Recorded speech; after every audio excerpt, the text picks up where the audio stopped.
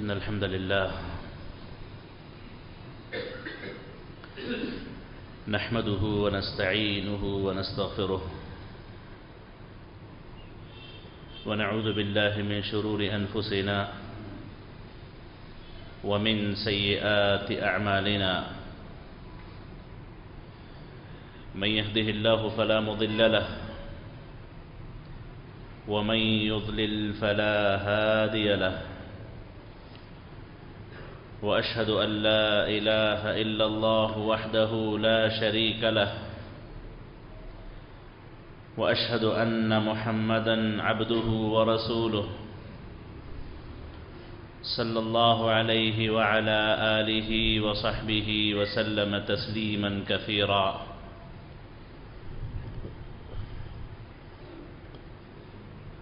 يا أيها الذين آمنوا اتقوا الله حق تقاته ولا تموتن إلا وأنتم مسلمون. يا أيها الناس اتقوا ربكم الذي خلقكم من نفس واحدة وخلق منها زوجها وبث منهما رجالا كثيرا ونساء. واتقوا الله الذي تساءلون به والأرحام. إن الله كان عليكم رقيبا. يا أيها الذين آمنوا اتقوا الله وقولوا قولا سديدا.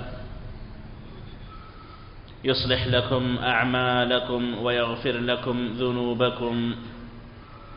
ومن يطع الله ورسوله فقد فاز فوزا عظيما. أما بعد فإن خير الكلام كلام الله وخير الهدى هدى محمد صلى الله عليه وآله وسلم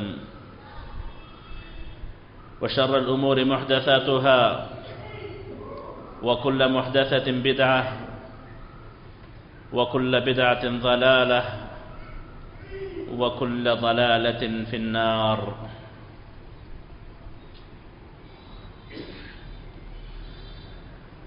قال الله جل شأنه في كتابه المجيد كل نفس ذائقة الموت وإنما توفون أجوركم يوم القيامة فمن زحزح عن النار وأدخل الجنة فقد فاز وما الحياة الدنيا إلا متاع الغرور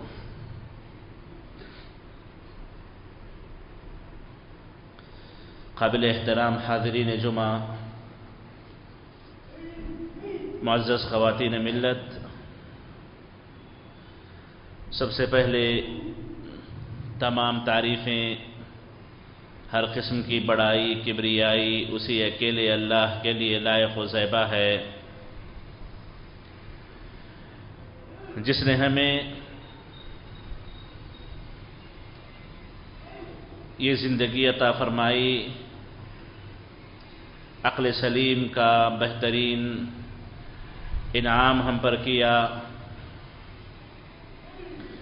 بادہ درود و سلام ہو اس نبی خدا محمد مصطفیٰ صلی اللہ علیہ وسلم کی ذات مبارکہ پر، جن پر درود و سلام اللہ کی رحمتوں، برکتوں کے حصول کا بڑا ہی بہترین ذریعہ ہے۔ صلی اللہ علیہ وعلى آلہ وصحبہ وسلم تسلیما کثیرا۔ معزز حاضرین، ابھی میں نے سورہ آل عمران کی ایک آیت کی آپ کے سامنے تلاوت کی، جس میں اللہ تعالیٰ ارشاد فرماتے ہیں، کل نفس ذائقۃ الموت کہ ہر نفس کو موت کا مزہ چکھنا ہے۔ وَإِنَّمَا تُوَفَّوْنَ أُجُورَكُمْ يَوْمَ الْقِيَامَةِ۔ کہ قیامت کے دن تمہیں تمہارے اعمال کا پورا پورا اجر و ثواب، پورا پورا بدلہ دیا جائے گا۔ فمن زحزح عن النار وادخل الجنة فقد فاز۔ پھر اللہ تعالیٰ نے کہا کہ جس کو جہنم کی آگ سے ہٹا دیا جائے، بچا لیا جائے اور جسے جنت کا داخلہ مل جائے، وہ کامیاب ہے۔ ومل حیات الدنیا اللہ متاع الغرور۔ اور کہا کہ دنیاوی زندگی بس دھوکے کا ایک سامان ہے۔ معزز حاضرین، انسان کا اس دنیا میں وجود اس کے موت کی نشانی ہے۔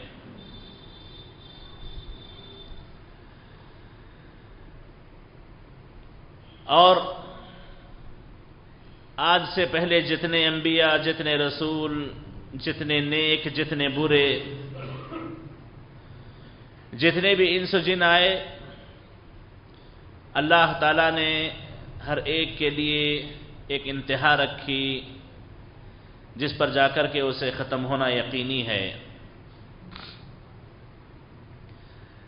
اور اس موت کے بعد کی زندگی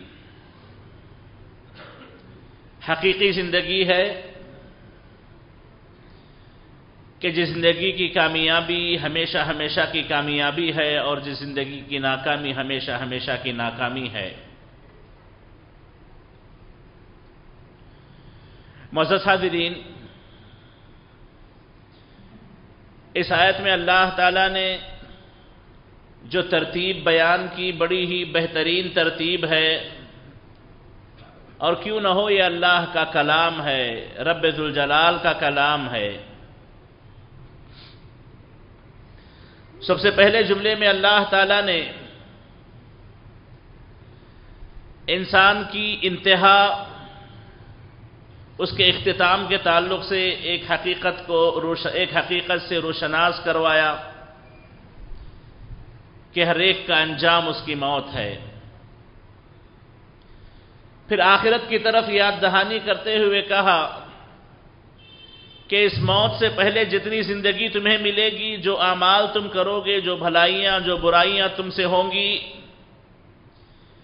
ان تمام کے بدلے تمہیں قیامت کے دن ملیں گے۔ وَإِنَّمَا تُوَفَّوْنَ أُجُورَكُمْ يَوْمَ الْقِيَامَةِ۔ اور جو کلمہ اللہ تعالیٰ نے اختیار کیا تو اس کا معنی یہ ہوتا ہے کہ کسی کو اس کا پورا پورا حق دے دیا جائے، کوئی چیز اٹھا کر باقی نہ رکھی جائے۔ تو وہ فون جو رقم یوم القیامہ۔ قیامت کے دن کے تعلق سے اس جملے میں بتایا گیا اجر و ثواب کی امید دلائی گئی۔ پھر اس قیامت کے دن کامیابی کس کو ملے گی؟ اس کا تذکرہ کرتے ہوئے اللہ تعالیٰ نے کہا کہ جو کوئی آدمی جہنم سے بچا لیا جائے، جنت میں داخل کر دیا جائے، وہ در حقیقت کامیاب شخص ہے۔ پھر آیت کی انتہا، آیت کو ختم اللہ تعالیٰ نے اس دنیاوی زندگی کی حقیقت کو بیان کرتے ہوئے کہا کہ وہ ملحیات دنیا اللہ متاع الغرور۔ کہ یاد رکھو، دنیاوی زندگی بس ایک دھوکے کا سامان ہے۔ کہ جس سے عام طور پر انسان دھوکے میں پڑا ہوا ہے۔ مسز حاضرین، آیت کی ابتدا میں اللہ تعالیٰ نے زندگی کا ضمن تذکرہ کرتے ہوئے موت کی طرف رہنمائی کی، تو آیت کے آخری حصے میں اس زندگی سے دھوکہ کھانے کی اور اس زندگی سے دھوکے میں رہنے کی جو ایک بڑے نقصان والی بات ہے، اس طرف بھی اللہ نے اشارہ کر دیا۔ تو من جملہ طور پر یہ آیت ہمیں یہ بتاتی ہے کہ دنیاوی زندگی آرزی ہے، اس کے تمام سامان آرزی ہیں، اس کے رشتے آرزی اس کا مال و متا آرزی اس میں حاصل ہونے والی خوشیاں وقتی، اس میں حاصل ہونے والے غم وقتی۔ غرض یہ کہ جب بنیاد دنیاوی زندگی کو جب بقا نہیں ہے دنیاوی زندگی کو جب بقا نہیں ہے، وہ ہمیشہ باقی نہیں رہے گی، تو یاد رکھے اس دنیا میں حاصل ہونے والی کوئی بھی چیز باقی نہیں رہے گی۔ قرآن مجید میں ایک اور جگہ صورت الانبیاء میں اللہ تعالی نے اسی موت کا تذکرہ کرتے ہوئے کہا کہ اف امت تفہم الخالدون؟ کل نفس ذائقت الموت. ونبلوكم بالشر والخير فتنة وإلينا ترجعون. کہ اے نبی، یہ بندے کیا سوچتے ہیں؟ کہ اگر آپ مر جائیں، اگر آپ کا خاتمہ ہو جائے، تو یہ کیا ہمیشہ رہیں گے؟ ان کو ہمیشگی کی زندگی مل جائے گی؟ جبکہ ہر نفس کو موت کا مزہ چکھنا ہے اور ہم تمہیں آزمائیں گے کبھی تکلیف سے تنگیوں سے، فقیری سے، بیماریوں سے، تو کبھی نعمتوں سے، مالداری سے، صحت و تندرستی سے، طاقتوں سے ہم تمہیں آزمائیں گے۔ وَنَبْلُوكُمْ بِالشَّرِّ وَالْخَيْرِ۔ اللہ نے کہا کہ کبھی شر سے آزمائیں گے، تمہیں تو کبھی خیر سے آزمائیں گے۔ فتنہ، یہ تمام چیزیں فتنے کے طور پر تمہاری زندگی میں لگی ہوئی ہیں۔ جس طریقے سے کسی انسان کو تکلیفیں، نقصانات پہنچ جائیں تو مایوسی کا شکار نہ ہو، اسی طریقے سے انسان کو نعمتیں، صحت و تندرستی ملے اور کامیابیاں ملے تو وہ دھوکے میں نہ پڑے۔ وہ الینا ترجاؤن یاد رکھو کہ تم تمام کو ہمی کے پاس لوٹ کر کے آنا ہے۔ تو محسوس حضرین انسان اپنی زندگی میں کبھی موت کو نہ بھولے، اپنی حقیقت کو نہ بھولے۔ اس دن کی تیاری کرے۔ جس دن کے تعلق سے اللہ تعالیٰ نے نقشہ کھینچتے ہوئے کہا کہ یقول یا تری قدم تو لحیاتی۔ اللہ تعالیٰ کی اس آیت میں تعبیر پر غور کریں کہ جو انسان موت کو اپنی زندگی کا خاتمہ سمجھتا ہے، آخرت کا کوئی اعتبار نہیں رہ جاتا، اپنی زندگی کی ترجیحات میں اپنی زندگی کے مختلف حرکتوں میں، مختلف اعمال میں آخرت اس کے سامنے نہیں رہ جاتی، تو اس آخرت کے تعلق سے اللہ تعالیٰ کہتے ہیں کہ قیامت کے دن بندہ یہ کہے گا، یا لئی تری قدم تو لی حیاتی کے کاش میں نے اپنی زندگی کے لیے کچھ کر لیا ہوتا۔ میں نے اپنی زندگی کے لیے کوئی توشہ تیار کیا ہوتا، کوئی سامان تیار کیا ہوتا، تو یہ بڑی اچھی بات ہوتی، بڑی بھلی بات ہوتی۔ تو حقیقی زندگی انسان کی موت کے بعد جا کر کے شروع ہوتی ہے۔ انسان کے انتقال کے بعد جا کر کے حقیقی زندگی کا آغاز ہوتا ہے۔ بندہ جیے تو زندگی کی خاطر جیے۔ مزد حاضرین، موت کا بڑا بھیانک نقشہ ایک اعتبار سے مومن کے لیے بڑا بہترین دوسرے اعتبار سے کافر کے لیے اتنا ہی ہولناک نقشہ نبی کریم علیہ السلاۃ والسلام نے اپنے ایک واقعے میں بڑی تفصیل سے بیان کیا ہے۔ یہ روایت برائے ابن عازب رضی اللہ تعالیٰ عنہ کی ایک بڑی تفصیلی روایت ہے۔ اس کو میں آپ کے سامنے مختصر انداز میں رکھنے کی کوشش کروں گا۔ نبی کریم علیہ السلط والسلام کے زمانے میں ایک مرتبہ ایک صحابی کا انتقال ہو گیا۔ صحابی کی تجہیز و تکفین ہوئی۔ قبرستان انہیں لے جایا گیا۔ تو دیکھا کہ قبر بھی تیار نہیں ہوئی ہے۔ قبر کی تیاری چل رہی ہے۔ تو اس میں اس بات کی دلیل ہے، جو نبی کریم علیہ السلط والسلام کی بھی تعلیم تھی کہ جب کسی کا انتقال ہو جائے تو تدفین میں کبھی تاخیر نہیں ہونی چاہیے۔ کہ فلاں کا انتظار کیا جائے، فلاں کا انتظار کیا جائے، فلاں وقت دفن کیا جائے، یہ تمام چیزیں شریعت کے خلاف ہیں۔ ذرا دیکھیں کہ ایک صحابی کا انتقال ہوتا ہے، تجہیز و تکفین کر کے قبرستان پہنچتے ہیں تو ابھی قبر تیار نہیں ہوئی ہے، کتنی جلدی تھی۔ نبی کریم علیہ السلط جب پہنچے، دیکھا قبر ابھی تیار نہیں ہے تو بیٹھ گئے، اپنا سر جھکا لیا۔ ہاتھ میں ایک چھوٹی سی چھڑی تھی، زمین کورید رہے تھے، زمین پہ اسے رگڑ رہے تھے۔ آپ کے آس پاس صحابہ ہیں۔ نبی کریم علیہ السلط والسلام نے وقت کو غنیمت جانتے ہوئے، وقت کو مناسب سمجھتے ہوئے موت کا روح کے نکلنے کا تذکرہ کر دیا۔ نبی کریم علیہ السلط وسلام نے اپنے صحابہ سے خطاب کرتے ہوئے کہا کہ جب کوئی انسان اس دنیا سے چل چلاؤ کے وقت میں ہوتا ہے، اس دنیا سے نکلنے کے وقت میں ہوتا ہے، اس کی روح کے نکلنے کا وقت آتا ہے، تو دو فرشتے اس کی روح کے قبض کرنے کے لیے پہنچ جاتے ہیں۔ اور احادیث کی روایت کو ہم دیکھیں نبی کریم علیہ السلط والسلام نے اس کو دو قسموں میں تقسیم کیا۔ آپ نے پہلے مومن کا واقعہ بیان کیا تو اس کے بعد اللہ کے نبی علیہ السلط والسلام نے کافر کا تذکرہ کیا۔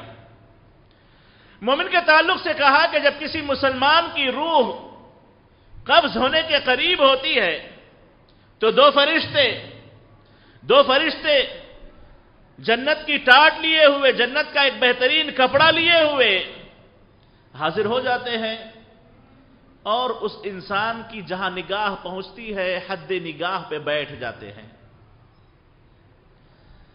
اور ملک الموت، جن کی ذمہ داری روح کے قبض کرنے کی ہے، وہ نازل ہوتے ہیں۔ وہ آ جاتے ہیں۔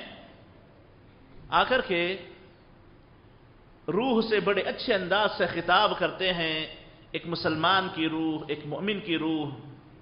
کہتے ہیں کہ اخرجی الى رضوان من اللہ، کہ اللہ کی رضامندیوں کی طرف نکل پڑو۔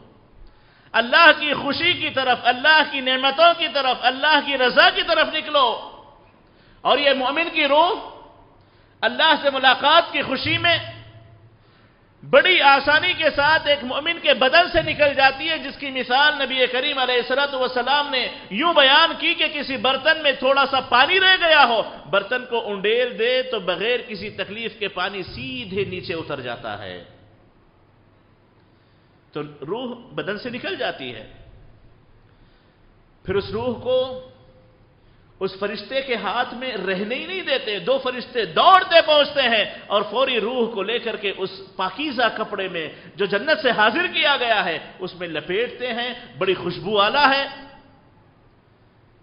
اس کپڑے کو لپیٹ کر کے لے کر اوپر آسمان کی طرف چلتے ہیں۔ گزرتے ہوئے نبی کریم علیہ السلط وسلام نے ارشاد فرمایا کہ مختلف فرشتوں کی جماعتوں سے ملاقاتیں ہوتی ہیں۔ فرشتوں کی جماعتیں دیکھتی ہیں کہ فرشتے کسی کی روح قبض کر کے آسمانوں پر لے اڑے ہیں۔ پوچھتے کون ہے؟ تو اللہ کے نبی کہتے ہیں کہ فرشتے اس آدمی کا نام بڑے ہی احترام، عزت کے ساتھ لیں گے اور بڑا ہی اس کا باعزت نام لیں گے۔ یعنی جس نام سے اس کی عزت و تکریم کی جاتی ہے، جس نام سے اس کو مقام دیا جاتا ہے، ویسے جیسے آپ کسی کو عزت دیں تو پورے القاب کے ساتھ، صفات کے ساتھ اس کے نام لے اس کی تعظیم کریں، اس انداز سے اس کا اس کا نام لیا جاتا ہے۔ تو فرشتے کہتے ہیں، بڑی خوشبو والی روح ہے، بڑی بہترین روح ہے۔ تو محسوس حاضرین، اللہ کے فرشتے اس روح کو لے کر کے آسمان کی طرف چلتے ہیں، آسمان کی طرف اٹھتے ہیں۔ فرشتوں سے ملاقاتیں ہوتی ہیں، تذکرہ خیر ہوتا ہے، ذکر خیر ہوتا ہے۔ جیسے اوپر پہنچتی ہے، اللہ تعالی کی طرف سے یہ اعلان ہوتا ہے، منادی ہوتی ہے۔ جیسے قرآن مجید میں اللہ تعالیٰ نے کہا، احادیث متحرہ میں اس کا بڑا ذکر ملتا ہے کہ اللہ تعالیٰ ان کی روحوں کو اوپر لے جاتا ہے، اوپر لے جا کر کے اللہ تعالیٰ پھر دوبارہ ان کی روحیں واپس ان کے بدنوں میں ڈال دی جاتی ہیں۔ جب ان کی روح ان کے بدن میں لوٹتی ہے، تو تب تک معاملہ حساب و کتاب کا شروع ہو چکا ہوتا ہے۔ حساب و کتاب کا معاملہ شروع ہو چکا ہوتا ہے۔ جیسے ہی روح بدن میں داخل ہو جائے، اسی درمیان وہ احادیث کو بھی آپ یہاں پہ لا لیں جس میں آتا ہے کہ بندے جب چالیس قدم دور ہٹ جائے تو بندے سے حساب و کتاب شروع ہو جاتا ہے۔ پھر بندے سے وہ معروف تین سوالات جس کا عام ذکر عام زبان پر، لوگوں کی زبان پر ہے۔ من ربک ما دینک؟ ومن الذی بعث فیکم؟ کہ تمہارا رب کون ہے؟ تمہارا دین کیا ہے؟ تمہارے درمیان کس کو بھیجا گیا؟ اور مومن بڑے آسانی سے ان جوابات کو عطا کر دیتا ہے۔ اور اس حدیث میں نبی کریم علیہ السلام والسلام کہتے ہیں کہ جب اس بندے کو اٹھایا جاتا ہے، روح ڈال کر کے جب بندہ اٹھتا ہے، تو ایسے لگتا ہے جیسے سورج غروب ہونے والا ہے۔ اس کو ویسے دکھایا جاتا ہے، اس کو ویسے خیال آتا ہے کہ سورج غروب ہونے والا ہے۔ کہتا ہے کہ مجھے فوری نماز پڑھنی تو مجھے نماز پڑھنی ہے۔ پھر سوال و جواب ہوتے ہیں، بڑے اطمینان کی نیند، سوال و جواب کی کامیابی کے بعد اسے سونے چھوڑ دیا جاتا ہے۔ اگلا واقعہ اللہ کی نعمتوں کا ہے، میں زیادہ تفصیل میں نہیں جاؤں گا۔ اور اس کے مقابلے نبی کریم علیہ السلام نے ایک کافر کی روح، منافق کی روح کے تعلق سے کہا کہ جب کسی کافر کی روح نکالی جاتی ہے، منافق کی روح نکلنے کا وقت آتا ہے، تو ویسے ہی دو فرشتے جہنم کی گندی بو والی ٹاٹ لیے ہوئے پہنچتے ہیں اور اس کی حد نگاہ پہ بیٹھ جاتے ہیں۔ ملک الموت آتے ہیں، قریب بیٹھتے ہیں۔ اور کہتے ہیں، روح سے خطاب کرتے ہوئے کہ چلو نکلو، اللہ کا غضب، اللہ کا عذاب تمہارے انتظار میں ہے۔ نکلو اللہ کے غصے کی طرف، نکلو اللہ کی ناراضگی کی طرف۔ اب روح اللہ کا غضب، اللہ کی ناراضگی سن کر کے بدن میں دوڑتی ہے کہ کہاں چھپے، کیسے بچے، کہاں سے پناہ لے؟ نبی کریم علیہ السلط والسلام کہتے ہیں کہ فرشتہ اس کے بدن سے اس روح کو اتنی سختی سے نکالتا ہے کہ اس کی رگیں، اس کا گوشت پھٹ جاتا ہے۔ مثال اللہ کے نبی نے ایسے بیان کی کہ جیسے کوئی کاٹے دار چیز ہو جیسے کچھ ایک گولا سا ہوتا ہے، چھوٹے سے کاٹے ہوتے ہیں جس کے چاروں طرف کاٹے بھرے ہوئے ہوتے ہیں۔ گول سی چیز جس کے چاروں طرف کاٹے بھرے ہوتے ہیں۔ ویسی مثال اللہ کے نبی نے دی کہ ایسے کانٹے دار چیز کو کسی بھیگی ہوئی روئی میں ڈال دیا جائے، پھر اس کو نکالیں تو روئی کو تار تار ہونا پڑتا ہے۔ روئی تار تار ہو جاتی ہے، روئی کے تار نکلتے ہیں، اس کو سلامتی سے نکالنا، روئی کے بغیر نکالنے کے لیے روئی کے ٹکڑے ٹکڑے کیے جاتے ہیں۔ تو وہی اس کافر کے بدن کا حال ہوتا ہے، جب روح اس کے بدن سے نکالی جاتی ہے۔ بڑی تکلیف کے ساتھ، بڑی شدت کے ساتھ، بڑے کرب کے ساتھ یہ مسئلہ ہوتا ہے۔ اور جیسے ہی یہ فرشتہ اپنے ہاتھ میں لے، وہ دو فرشتے دوڑتے ہوئے پہنچتے ہیں اور جہنم کی اس ٹاٹ میں اسے لپیٹ لیتے ہیں، پھر لے کر کے وہاں سے نکل پڑتے ہیں۔ اور جیسا میں نے کہا کہ جب نیک روح اوپر جاتی ہے، تو فرشتوں کی جماعتیں ہوتی ہیں، اس کی خوشبو سونگتی ہیں، اس کے تعلق سے سوال پوچھتی ہیں، اور اس کے مقابلے جب کافر و منافق کی روح اوپر اوپر لے جائی جاتی ہے، تو کہتے ہیں کہ فرشتے اس کی بدبو سے پریشان ہو جاتے ہیں۔ پوچھتے ہیں کہ کون سی خبیص روح لے کے جا رہے ہو؟ کون سی بدترین روح لے کے جا رہے ہو؟ تو یہ فرشتے لے جانے والے، دنیا میں اس کا سب سے بدترین جو نام اس کا پکارا جا سکتا تھا۔ دنیا میں سب سے بدترین جو جو اس کی صفت ہو سکتی تھی، جو اس کا لقب ہو سکتا تھا، وہ لے کر کے کہیں گے کہ فلاں خبیص کی روح ہے۔ فلاں خبیص کی روح ہے۔ پھر اس کو لے جایا جائے گا۔ لے جا کر کے آسمان کے دروازے کھٹکھٹائے جائیں گے، لیکن آسمانوں میں داخل ہونے کا وقت بھی نہیں ہے۔ اور چونکہ یہ بدترین کافر و منافق کی روح ہے، تو اس کو وہاں سے واپس پھینکنے کا حکم دیا جائے گا۔ جیسے قرآن مجید میں ہو میں شرک باللہ کہ اگر کوئی بندہ اللہ تعالیٰ کے ساتھ شرک کر لے، تو اس کو آسمان سے زمین پر پھینک دیا جاتا ہے۔ تحوی بھی الریح فی مکان صحیح، یا تختف الطیر، جیسے کسی چیز کو پرندے اچک لے جائیں، لے جا کر کہیں دور پھینک دے، یا ہوا کسی چیز کو اڑا لے جا کر کے کسی دور دراز مقام پر پھینک دے، وہ حال اس کی روح کا ہوگا، آسمانوں کی بلندیوں سے اسے پھینک دیا جائے گا۔ پھر جب وہ بدن تک پہنچے گی، حساب و کتاب کا وقت شروع ہو جائے گا۔ حساب و کتاب، وہی تین سوال و جواب۔ کافر تو جواب نہیں دے پائے گا۔ منافق کے تعلق سے اللہ کے نبی علیہ السلام والسلام نے کہا کہ کہے گا کہ لا ادری قل تما یقول الناس۔ مجھے نہیں پتا، لوگوں نے کہا تو میں نے بھی کہہ دیا۔ لوگوں نے کہا تو میں نے بھی کہہ دیا۔ فرشتے کہیں گے لا دریت ولا تلیت۔ نہ تجھے پتا چلا، نہ تو نے اتباع کی تو نے کچھ کیا ہی نہیں۔ تو نے تو بربادی کی، اپنے آپ کو برباد کر لیا۔ پھر وہ اللہ تعالیٰ کے ایک نہ ختم ہونے والے عذاب کا شکار ہو جائے گا۔ نہ ختم ہونے والے عذاب کا شکار ہو جائے گا۔ معزز حاضرین، یہی موت ہے، یہی قبر ہے، جس کو عثمان ابن عفان رضی اللہ تعالیٰ نے کبھی یاد کرتے۔ اتنا روتے اتنا روتے کہ آپ کی داڑھی تر ہو جاتی، آپ کا دامن تر ہو جاتا۔ اور کہتے کہ قبر سب سے پہلی منزل آخرت کی ہے، یہاں کی کامیابی آگے کی کامیابیوں کی نشانی ہے اور یہاں کی ناکامی آگے کی ناکامیوں کی نشانی ہے۔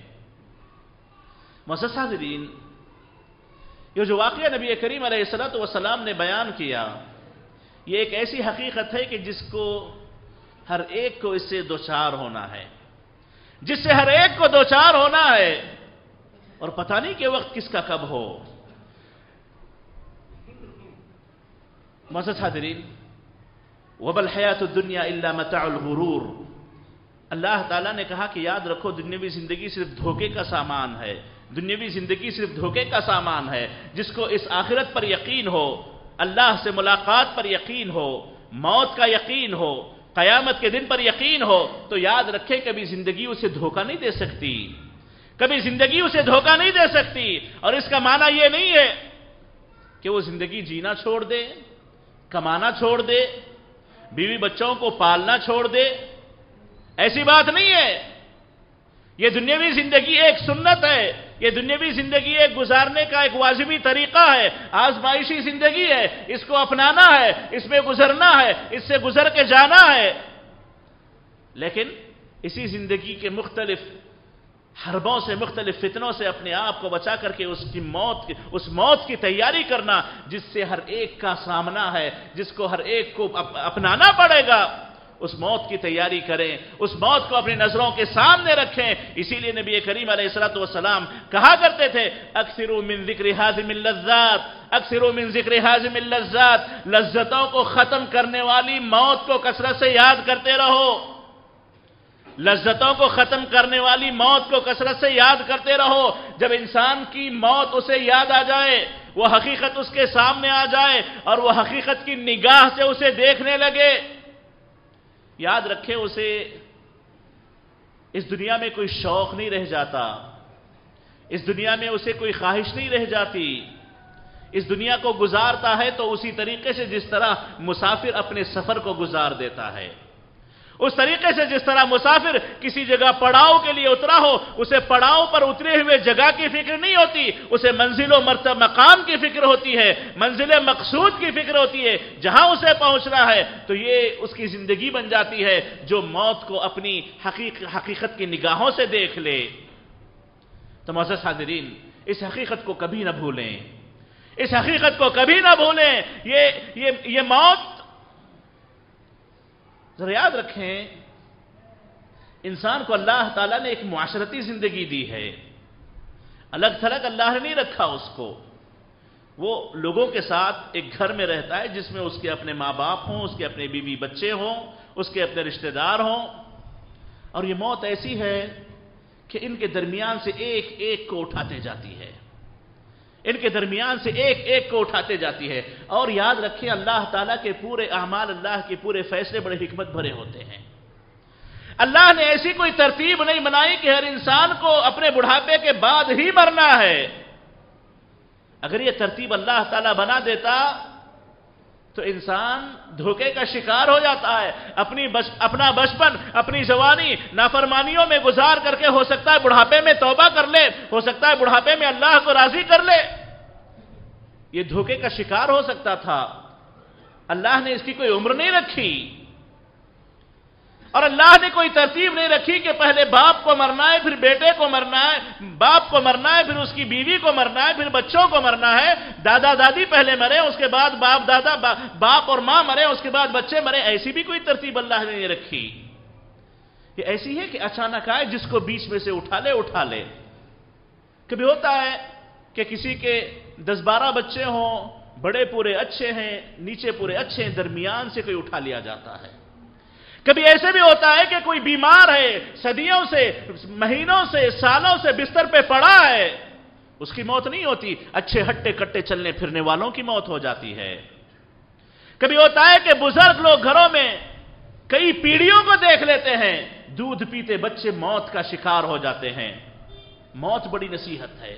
موت بڑی نصیحت ہے اور اللہ تعالیٰ نے اس موت کا جو ایک سلسلہ، ایک سنت بنائے رکھی ہے، یہ سمجھنے کے لیے بہت کافی ہے۔ سمجھنے کے لیے بہت کافی ہے کہ بندہ اس موت کو ہمیشہ اپنی نگاہوں کے سامنے رکھے، اپنی حقیقت کی نگاہ سے دیکھے، اس کی تیاری کرے اور اس سے کبھی غفلت کا شکار نہ ہو۔ پتہ نہیں آج کوئی اور ہو تو کل ہماری اپنی باری ہو۔ ایسا نہیں ہے کہ بیمار ہی مرتے ہیں، ایسا نہیں ہے کہ بزرگ ہی مرتے ہیں، بلکہ موت صحت مندوں کو موت بچوں کو، جوانوں کو ہر ایک کو آتی ہے۔ اور موت کا کوئی خاص طریقہ نہیں ہے۔ اور موت سے بچنے کا کوئی راستہ نہیں ہے۔ موت سے بچانے والی کوئی چیز نہیں ہے۔ بڑھاپے سے بچنے کے لیے کچھ کرنے کر لیں۔ بیماریوں سے بچنے کے لیے کچھ کر لیں کر لیں۔ لیکن موت سے بچانے کا کوئی راستہ اللہ نے رکھا ہے۔ لوگوں نے موت سے بچنے کی بڑی کوششیں کی، لیکن جب موت آتی ہے اینما تکونو یدرککم الموت ولو کنتم فی بروج مشیدہ اللہ نے کہا کہ جہاں بھی رہو موت تمہیں پا کے رہے گی، موت تمہیں پہنچ کے رہے گی۔ اگرچہ کہ تم بڑے بڑے برجوں میں کیوں نہ رہو۔ معزز حاضرین موت کو کبھی اپنی نظروں سے اوجھل نہ ہونے دیں۔ موت کو کبھی اپنے زہر و دماغ سے نکلنے نہ دے دنیا دھوکہ دے گی، نعمتیں دھوکہ دیں گی، گھر کے لوگ دھوکہ دیں گے، بیوپار دھوکہ دیں گے سب دھوکے میں لگے ہیں، ہر ایک کو دھوکہ دینا ہے، لیکن ان تمام دھوکوں سے بچ کر کے انسان موت کو ہمیشہ اپنی نگاہوں میں رکھے۔ یاد رکھے، وہی انسان کامیاب ہو سکتا ہے۔ اسی لیے اللہ نے کہا، فمن عن النار وادخل الجنت فقد فاز۔ کہ جو آدمی موت کو ذہن میں رکھتے ہوئے نیکیوں کے کام کرے، کہ جس کے ذریعے اللہ کی جنت کا مستحق ہو، برائیوں سے بچے، جس کے ذریعے جہنم سے اسے بچا لیا جائے، تو یہ حقیقت میں کامیاب ہے۔ یہ حقیقت میں کامیاب ہے۔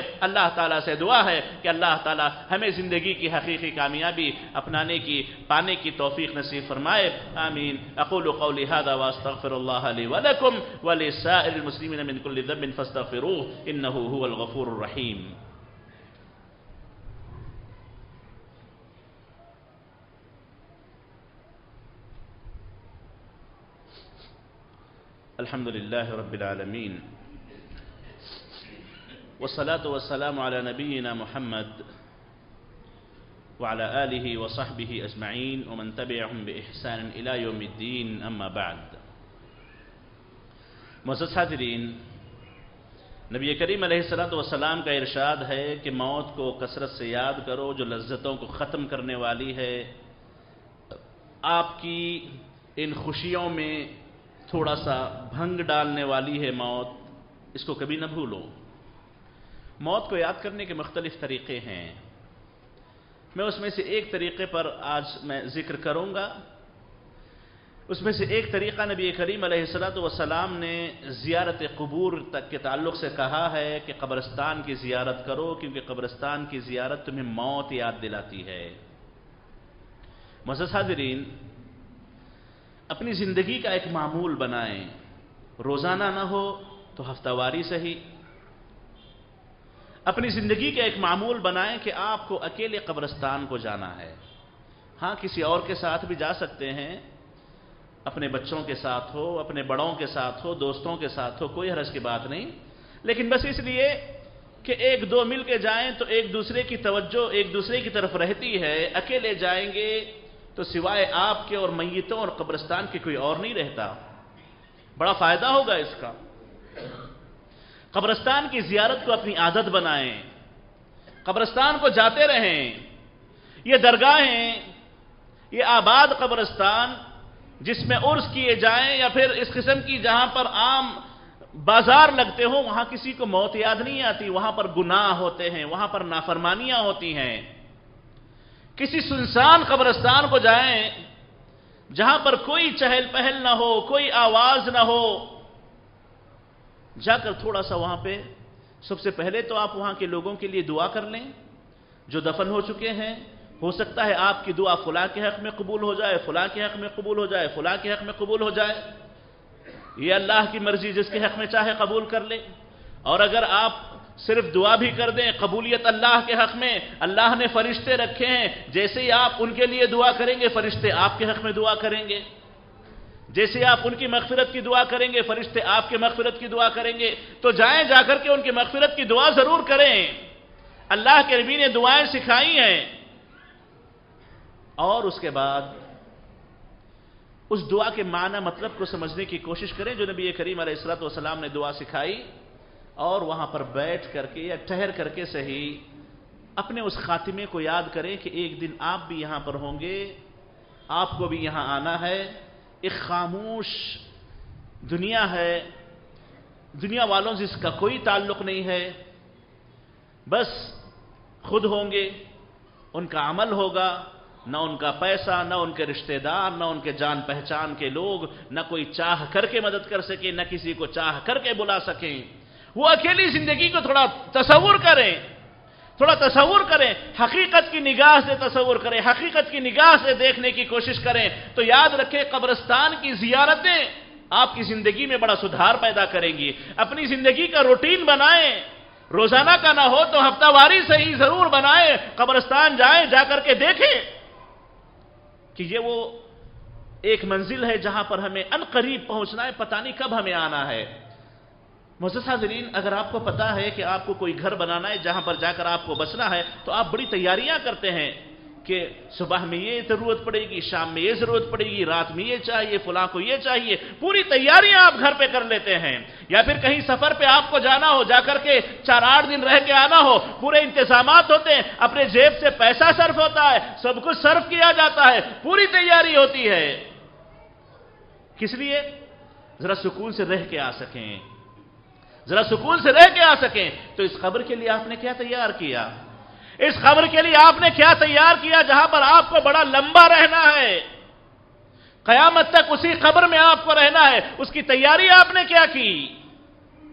یہ اسی وقت ہوگا یہ اسی وقت ذہن آپ کا کام کرے گا جب آپ قبرستان جائیں، جا کر کے زیارت کریں، ان کے حق میں دعائیں کریں، اپنی موت کو یاد کریں، تب آپ کے ذہن میں آئے گا کہ آپ کو اس کی کیا تیاری کرنی ہے۔ کم از کم آپ کو تھوڑی سی اپنے دل میں حرکت محسوس ہوگی، تھوڑا سا ڈر محسوس ہوگا۔ حقیقت کی نگاہ سے دیکھیں گے تو ہو سکتا آپ کی آنکھوں سے آنسو نکل جائے۔ اچھے مضبوط کلیجے والے، پتھر کلیجے والے، اس جگہ جائیں تو ان کا کلیجہ نرم پڑ جاتا ہے۔ کیونکہ ایک ایسی حقیقت ہے جس سے کسی کو مفر نہیں ہے، جس سے کسی کو راہ فرار نہیں ہے۔ تو مزد حاضرین، موت کو اپنے نگاہوں میں، اپنے عقل و دماغ میں، اپنی زندگیوں میں حاضر رکھیں۔ یہ اگر رہے گی تو زندگیاں اچھی گزریں گی۔ اور اس سے اگر غفلت ہو جائے تو یاد رکھیں، اس سے غفلت انسان کو برباد کر کے رکھ دیتی ہے۔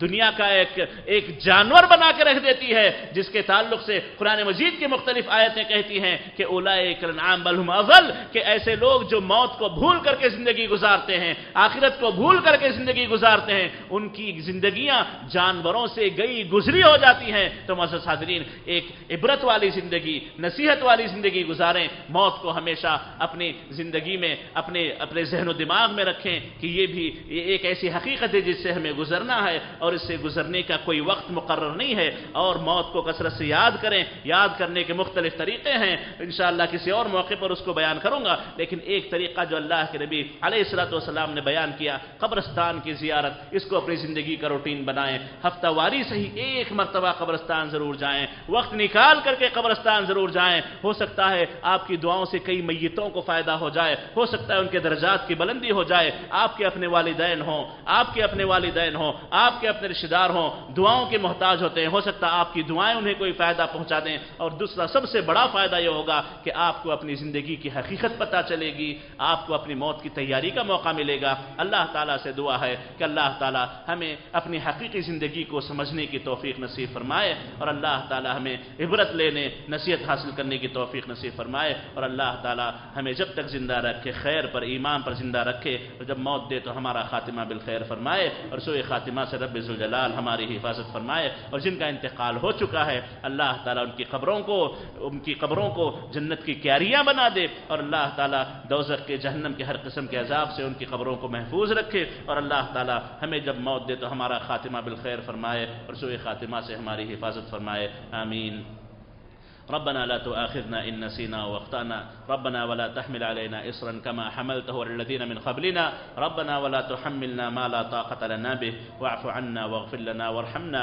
أنت مولانا. فانصرنا على القوم الكافرين. سبحان ربك رب العزة عما يصفون وسلام على المرسلين. والحمد لله رب العالمين.